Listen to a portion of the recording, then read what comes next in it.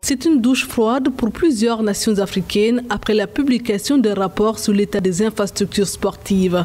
Réalisée par la CAF elle-même, l'enquête présentée début mai révèle que 23 pays ne disposent pas de stades aux normes internationales. Or, parmi eux, 8 sont engagés dans les qualifications pour la Coupe du Monde 2022 au Qatar, à savoir le Sénégal, la Centrafrique, le Mali, le Malawi, le Burkina Faso, le Niger, la Namibie et le Libéria. La CAF et la FIFA ont procédé donc à des missions d'inspection pour vraiment voir dans quel état les infrastructures sportives, c'est-à-dire les stades de football sur le continent, se trouvent. Et le rapport est accablant.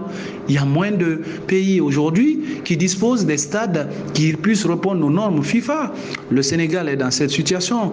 Nous avons eu la chance, par exemple, en Guinée, qu'un particulier, c'est-à-dire le président de la fédération, ait pu mettre vraiment le stade dans les normes FIFA. C'est ce qui a fait éviter à la Guinée le, le pire. Pour respecter le cahier des charges des instances internationales, les enceintes doivent avoir une capacité d'accueil d'au moins 10 000 places, une pelouse et des vestiaires de qualité, des dispositifs d'éclairage ou de sécurité adaptés. Or, peu d'infrastructures satisfont à ces exigences en Afrique. Il faudrait que les États prennent des dispositions, mettent des infrastructures, refaire tous les travaux nécessaires. Mais il y a surtout un problème, je dirais, d'entretien aussi des stades. Parce que quand on prend le Sénégal, il a organisé quand même la Coupe d'Afrique des Nations, donc les infrastructures existent. Mais le problème, c'est l'entretien. Quand on prend le Mali, qui a organisé en 2002 la Coupe d'Afrique des Nations, mais le problème d'entretien se pose.